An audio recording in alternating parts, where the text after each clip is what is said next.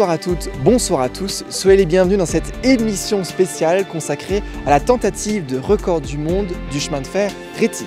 Ce soir, nous allons vous raconter ce qu'il s'est passé le 29 octobre 2022 entre Preda et Bergune, où je suis actuellement. C'est entre ces deux gares que la tentative de record du monde aura lieu, et jusqu'au viaduc du Landwasser.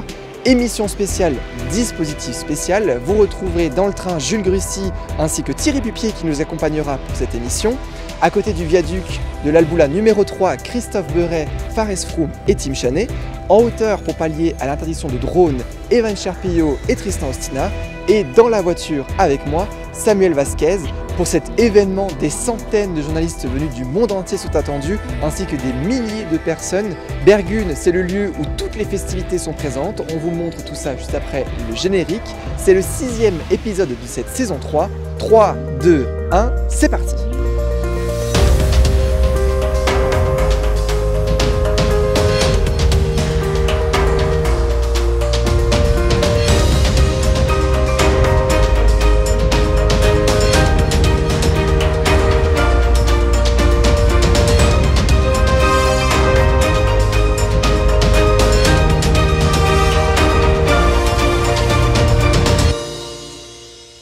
grande partie de cette émission sera consacrée à la tentative de record du monde, mais entre deux, vous pourrez découvrir quelques séquences, notamment la toute première autour de l'histoire de la ligne de l'Alboula avec Christophe Beuret.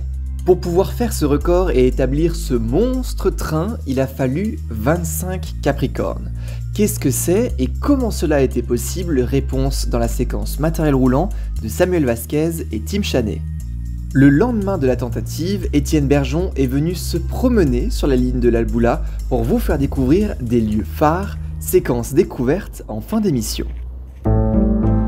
Pour la quasi-majorité des journalistes, des passionnés, des familles ou même des curieux, les événements se déroulaient le samedi 29 octobre 2022, sauf que ce ne fut pas vraiment le cas, en tout cas pour nous. La veille au soir, sur le tronçon à double voie vers la gare de Samedan, nous pouvions admirer dès 21h la préparation des 13 premières rames du record.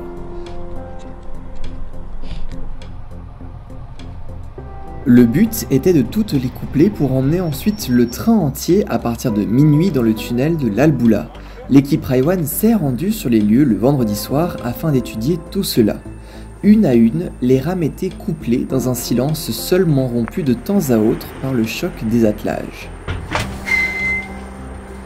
De nuit, c'est déjà très impressionnant, une file interminable de fenêtres s'étend et se perd dans le brouillard et la nuit noire. À chaque rame nouvellement amenée, nous avons pu observer qu'elle était complètement déclenchée à un moment donné. Nous imaginons qu'il y a derrière un reset complet du véhicule pour notamment installer le logiciel de marche adapté au contrôle des 25 rames. Élément intrigant, ces chiffres inscrits sur les écrans de ce que nous en avons déduit, c'est une indication sur quelle rame se situe où. Par exemple, ici, c'est la cinquième rame du deuxième groupe. Peut-être aussi pour repérer les autres mécaniciens qui devront être à leur poste lors de la conduite du record. Je vous explique cela un peu plus tard.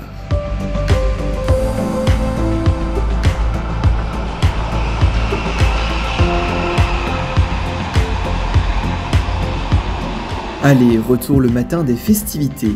Départ pour une partie de l'équipe depuis Coire à bord de la G443 et sa magnifique livrée au record du monde qui tractait des voitures historiques. Il y avait notamment sur leur voyage un magnifique passage sur le viaduc du Landwasser, point d'étape clé l'après-midi pour la réussite du record du monde. Une autre partie de l'équipe est déjà sur place pour filmer les derniers préparatifs de la composition finale du train. 11h36 le 29 octobre 2022. Vous le voyez derrière moi, trois rames Capricorne, c'est le nom du modèle, arrivent en gare pour ensuite aller dans le tunnel de l'Alboula pour former la rame finale. Au total, 25 rames Capricorne seront alignées pour cette tentative du record du monde, soit 2 km de longueur, un petit peu moins. Cette ligne, aujourd'hui, est au centre de toutes les attentions, mais il y a quelques décennies, ce ne fut pas le cas du tout. Explication avec Christophe Beuret, et on se retrouve ici pour suivre la tentative de record du monde juste après.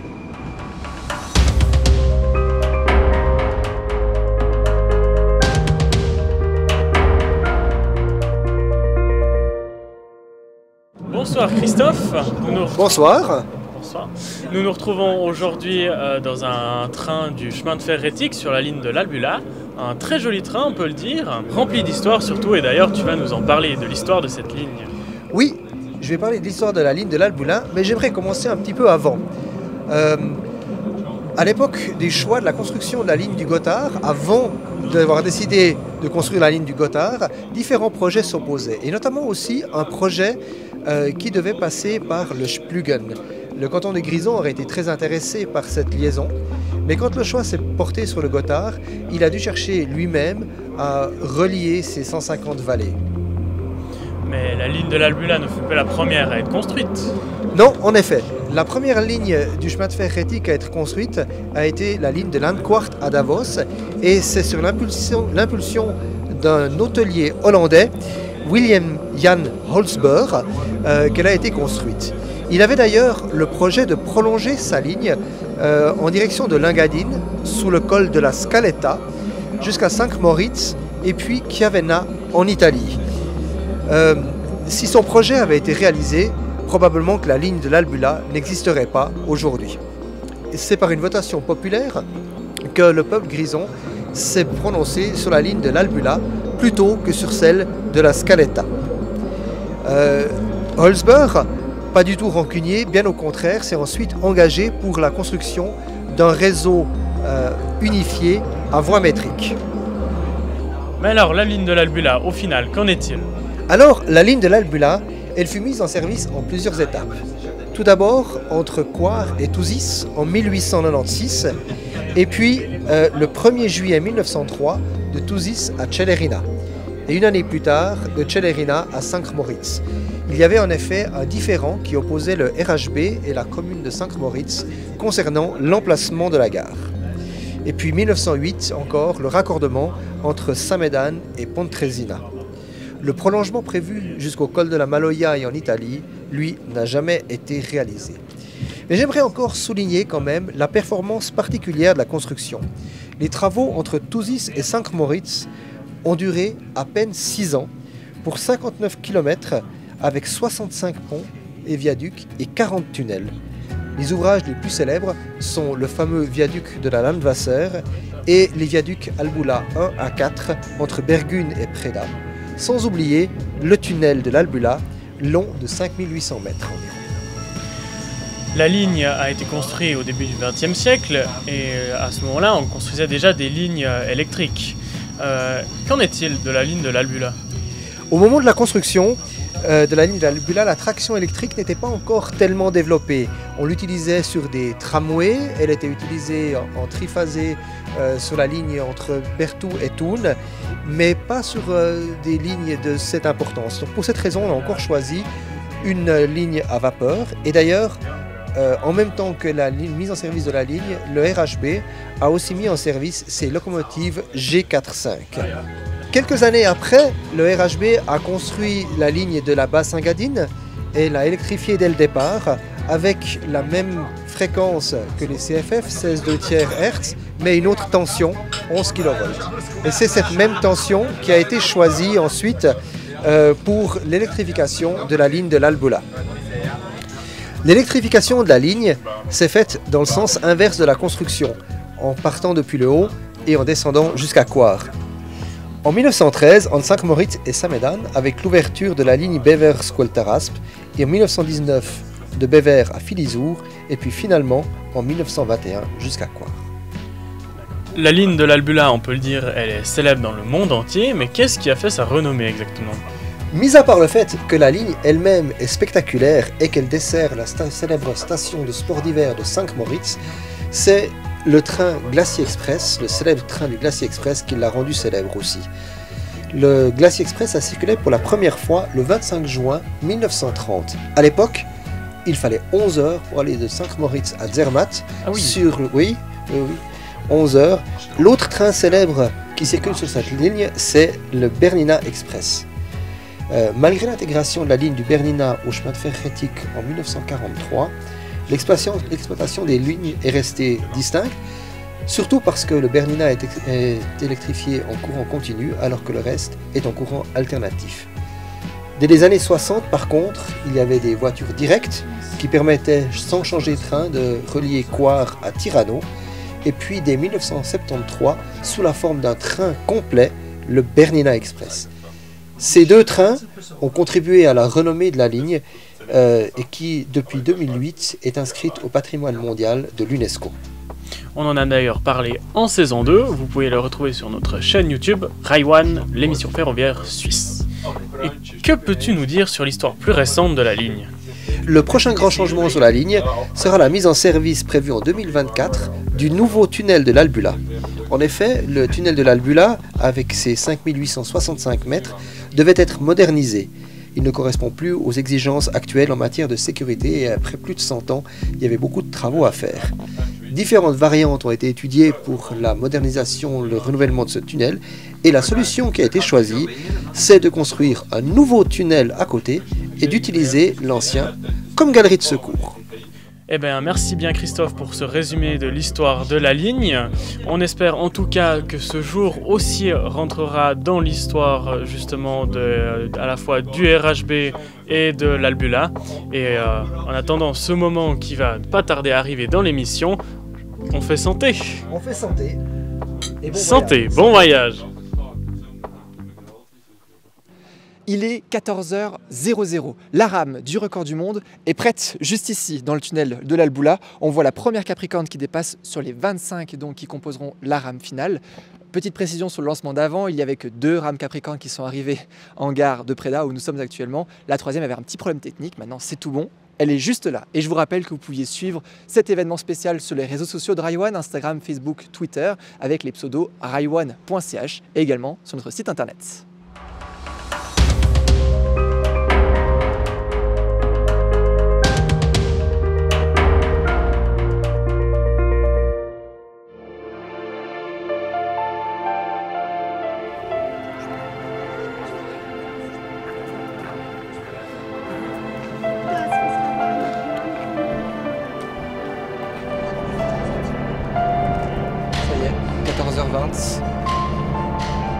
Départ a sonné. C'est parti. Ça siffle.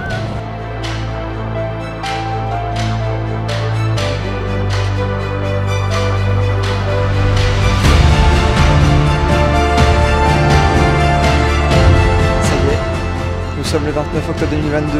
Il est 14h21 et 10 secondes. Et la rame du record du monde, ça y est, part. Elle est sous nos yeux. C'est parti. On va la suivre avec Raiwan. Toute l'équipe est en place. Nous, on part à la voiture. Sam, t'es prêt? 3, 2, 1, go, c'est parti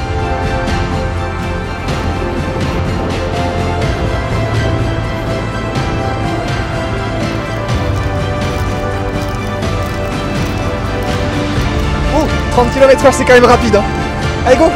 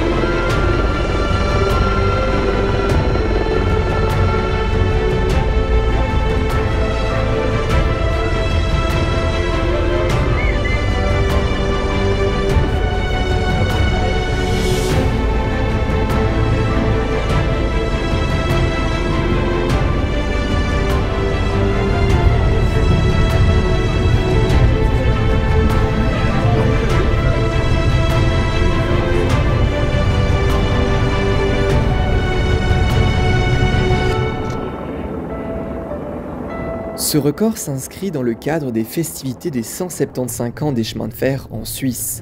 À la vue de cet immense convoi, nous pourrions nous dire qu'en pleine crise énergétique, il est assez déplacé d'aligner ces 25 rames pour un record du monde. Eh bien, c'est tout le contraire. Au-delà d'être le train voyageur le plus long du monde, c'est aussi la centrale électrique la plus longue du monde. L'énergie de récupération était telle qu'elle dépassait les besoins de tout le réseau RHB et a été renvoyée dans le réseau public. Au total, 4000 kWh ont été produits grâce au fait que le voyage s'est fait en descente avec 789,4 mètres de dénivelé.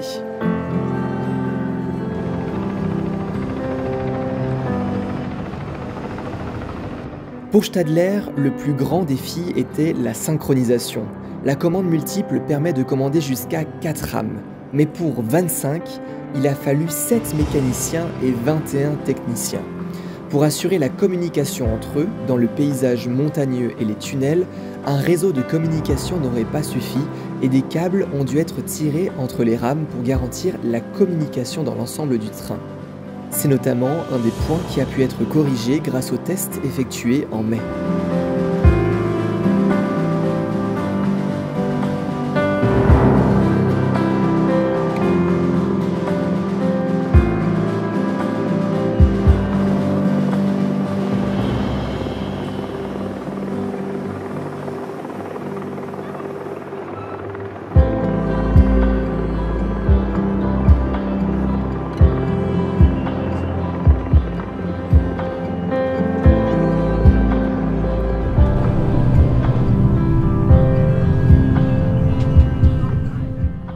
Vous donner d'autres chiffres, le train circule entre 30 et 35 km/h, rencontre en tout sur son passage 48 ponts et 22 tunnels, son poids était d'environ 2990 tonnes et il parcourt en tout 24 km 930.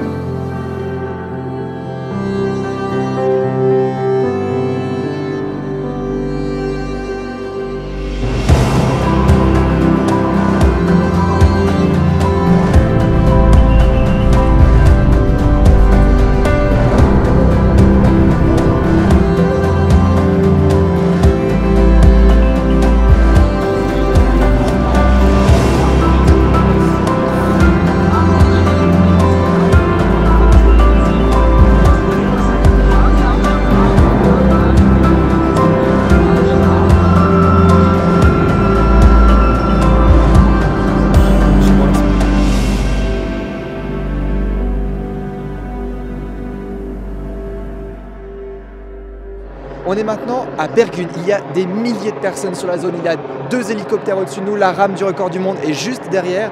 On est à peu près, je sais pas, un tiers au milieu. On ne sait pas du tout où on en est. On a pu prendre de l'avance. Vous avez devant vous 25 Capricornes. 25. C'est ouf, non?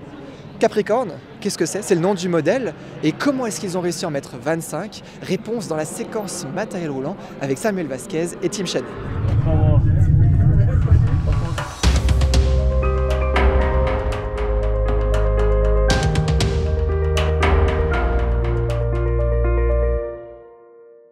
Aujourd'hui, dans cette chronique matériel roulant, nous allons nous pencher sur les rames qui vont être utilisées pour la tentative de record du monde du RHB. Tout débute en 2015 lorsque le chemin de fer Rétic a lancé un appel d'offres pour l'achat de 27 nouveaux trains à voie métrique. Ce dernier était accompagné d'une option pour une éventuelle commande supplémentaire de 20 unités qui se concrétisa également 6 mois plus tard avec l'achat additionnel de 9 rames, donc 56 au total. Ceci dans le but de mettre en place les nouvelles cadences de l'offre Retica 30, soit des circulations toutes les demi-heures sur la plupart des lignes. Le remplacement des anciennes compositions devenues obsolètes techniquement était aussi un des objectifs visés par la compagnie. En effet, pour vous donner un bref exemple, il était jusque-là nécessaire que chaque composition soit dotée d'une voiture chauffante pour chauffer les différentes voitures du train quand ce dernier s'arrêtait. La facture, elle, 534 millions de francs, ce qui représente sans trop de suspense la plus grosse commande de matériel roulant du Reticheban depuis le début de son histoire. C'est le 15 avril 2019 que la première RAM fit son arrivée sur le réseau. Elle était numérotée 3111 et débuta son exploitation commerciale le 17 juin 2020.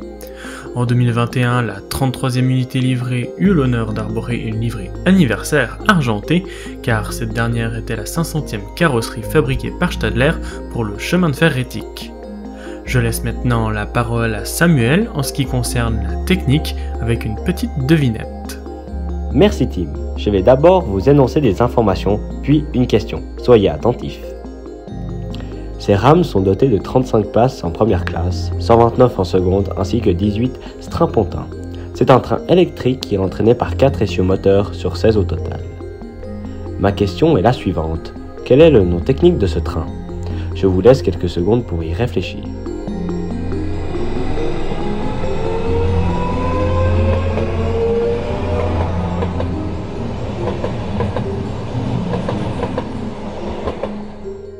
Ce sont des ABE 416. A pour la première classe, B pour la deuxième classe, le E pour la motorisation électrique et la fraction 416 qui représente le nombre d'essieux moteurs sur le nombre d'essieux totaux. Ces nouveaux véhicules ont reçu après un concours le nom de Capricorne. Pourquoi ce nom? Eh bien, je crois qu'une image suffira pour vous répondre.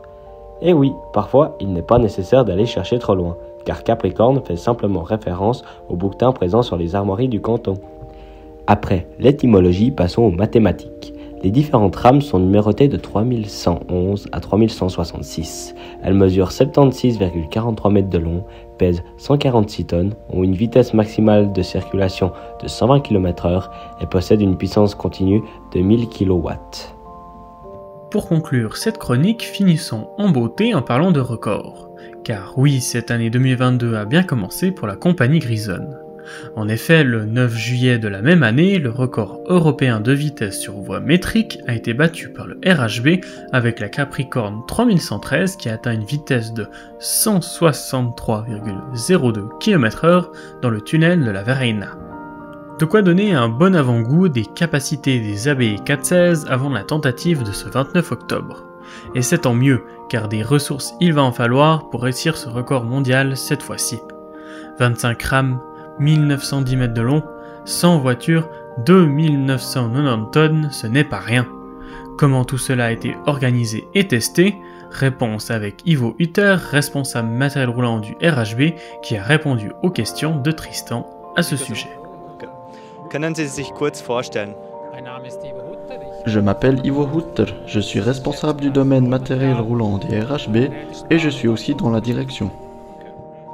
Warum wurde, für, warum wurde für dieses Weltrekord ausgerechnet die ABE 416 oder auch Capricorn ausgewählt?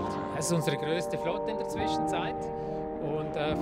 Entre-temps, c'est notre plus grande flotte. Nous n'aurions pas eu assez d'autres véhicules. C'est aussi plus facile de faire un record du monde avec la même sorte de train. C'est aussi plus beau à voir et nous voulions aussi présenter notre flotte que nous avons ou que nous sommes en train d'acheter. Es ist ja eine große Herausforderung, 25 Züge zu haben. Wurden bei den Zügen ähm, Änderungen vorgenommen und auch bei der Infrastruktur? Nous n'avons rien dû faire pour l'infrastructure. Nous avons roulé sur une ligne fermée et sur cette dernière, nous n'avons rien changé. Par contre, nous avons changé le software des Capricornes. Nous avons réduit la courbe de freinage pour que cela freine moins brusquement et nous avons réduit la courbe d'accélération pour que nous puissions accélérer moins vite. De très bons véhicules se sont donc transformés en escargolants. Ceci pour que lorsqu'on accélère et freine, l'homogénéité entre les paquets ne soit pas trop grande. Un des problèmes était aussi que nous roulions des tractions quadruples mais pas des tractions à 25 trains. Nous avons fait 6 paquets à 4 rames avec un conducteur dans chaque paquet et une rame seule avec aussi un mécano. Nous avons donc roulé avec 7 conducteurs. Pour garantir la sécurité, nous avons ajouté une boucle de freinage pour que si un train freine, les zones freinent avec. Et comme ça, nous avons bien pu homogénéiser le tout. Also die Testfahrten hatten Sie ja nur mit 16 Capricorns gemacht. Woher wussten Sie oder wie sicher waren Sie, dass es dann mit 25 Capricorns auch funktionieren würde? Ganz sicher waren wir nicht. Nous n'étions pas sûrs à 100%, mais nous étions convaincus que ça marcherait parce que comme nous avons construit les commandes, c'est égal s'il y a 4 paquets de 4 Capricornes ou s'il y a 6 paquets de 4 Capricornes. C'est la même chose. Les tests ont très bien fonctionné, même sans problème. C'est pour cela que nous étions convaincus, même avec 25 Capricornes.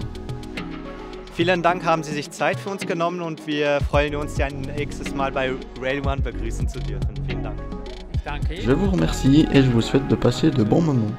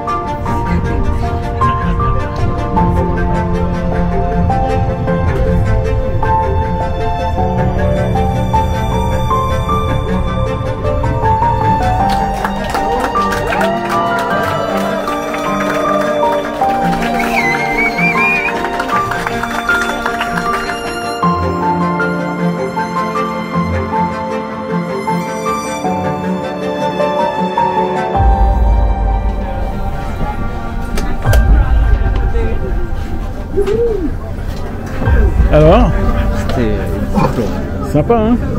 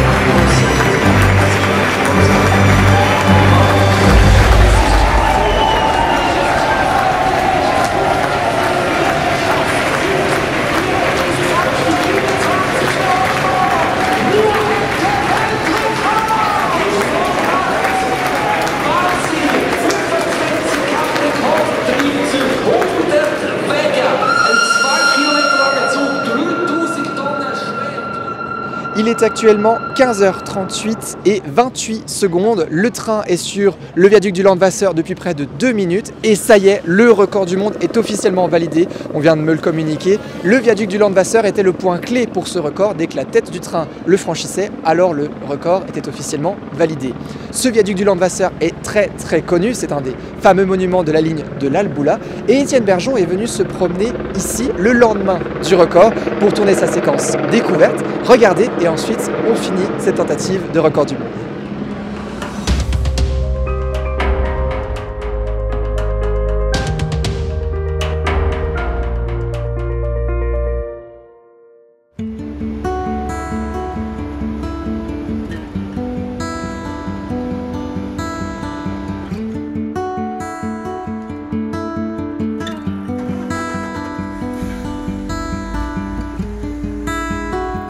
Bienvenue à Coire. C'est depuis ici également que nous pouvons rejoindre la ligne classée à l'UNESCO, l'UNESCO, hein, l'Alboula.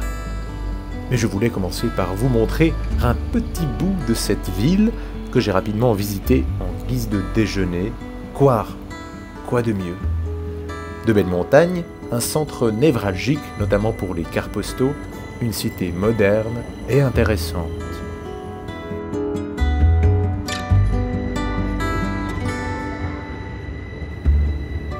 Prenons le train et sautons jusqu'à Tousis, ou plutôt Alvaneuil, via Tiefenkastel, car j'ai tout simplement décidé d'aller là-bas avant Voilà. Depuis ici, plusieurs destinations sont à disposition des voyageurs, mais moi, j'ai pris ce bus jusqu'à la gare d'Alvaneuil. Le calme est impressionnant et le temps aussi. Lorsqu'il s'arrête le temps d'un instant, comme si le secondes était en or.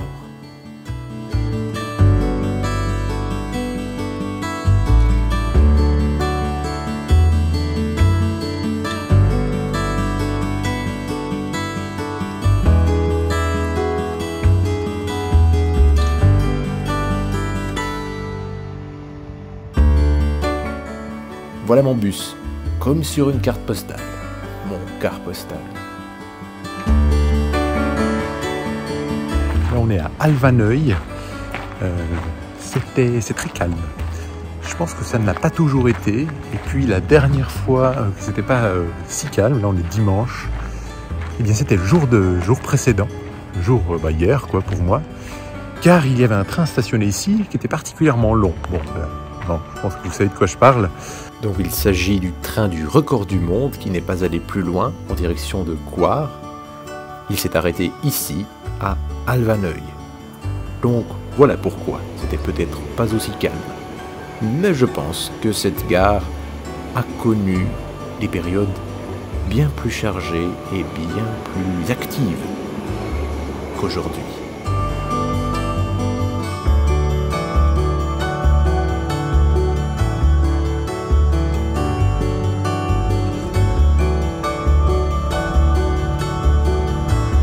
Je redescends après un petit moment sur place jusqu'à Tiefencastle une fois de plus pour reprendre le train jusqu'à Philisour, ici, juste avant d'y arriver, sur le Landwasser Viaduct.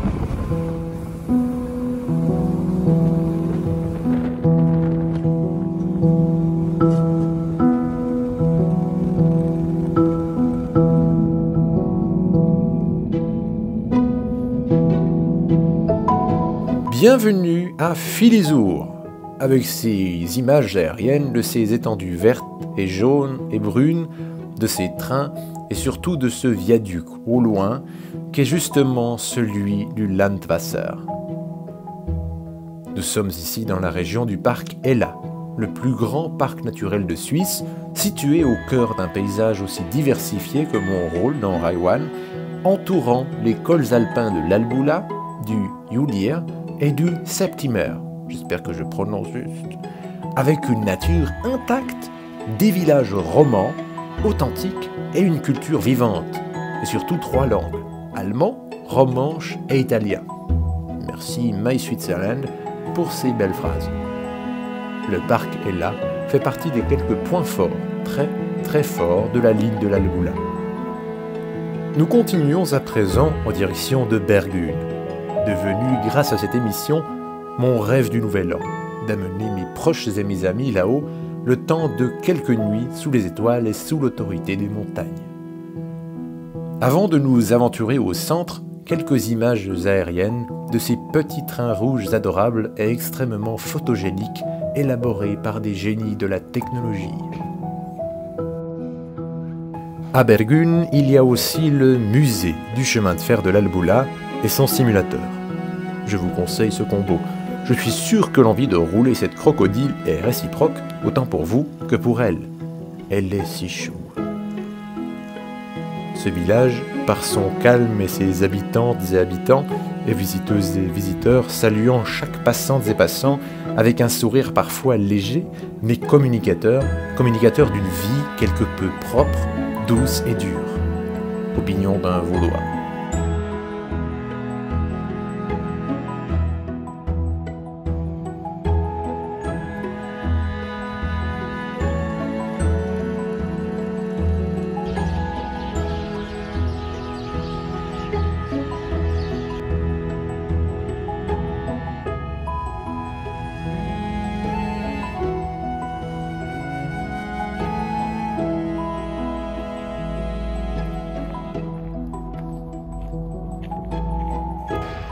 Nous sommes à Bergune. Incroyable. Magnifique village. Euh, je l'ai parcouru peu partout, en une heure, même pas. Et franchement, ça vaut le détour. J'hésite même à, à passer Nouvel An ici. Très beau.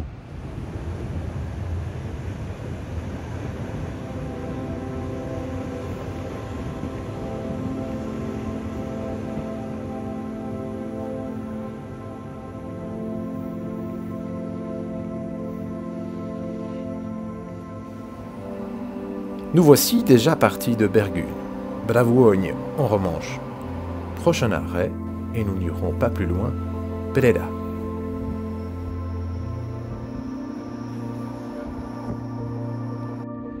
Allez, quelques coups de vent plus tard, dans la Ramalvra avec les fenêtres ouvertes, nous sommes à Preda. Je sais pas où je vais aller. Mais en tout cas, je suis très fier. Malgré que je fais 1m80 et des poussières, je suis tout de même aussi grand, voire presque plus grand qu'une GE.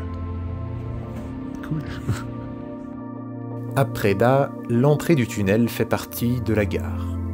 Voulant filmer de l'exclusif, j'ai pris une petite euh, tarte au restaurant du coin et j'ai décidé d'arpenter la montagne pour me rendre à un autre point fort, le lac Palpuogna, en italien Laida Palpuogna.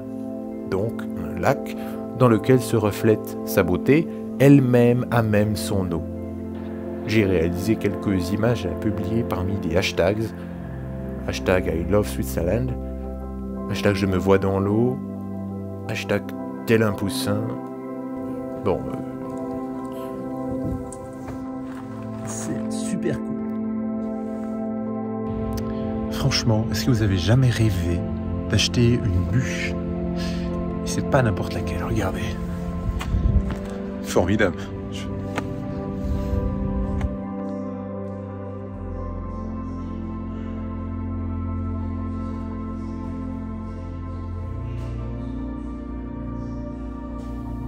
Pour terminer, nous revenons à Touzis, là où j'ai passé ma nuit. Bien sûr, si vous désirez continuer vers Sainte-Moritz, l'ensemble vaut le détour. Et je ne sais même pas si le détour est un bon mot, car tout est aussi beau que tout ce qu'il y a ici. Et n'oubliez pas de voyager notamment en cabine entre Sainte-Moritz et Poschiavo, la ligne Bernina, grâce à notre émission diffusée durant la saison précédente, si cela vous dit, bien sûr histoire d'avoir un avant-goût de votre future visite, car quand vous y serez, vous vous direz Ah, c'est c'est ça le. Ah ben oui Excellent. À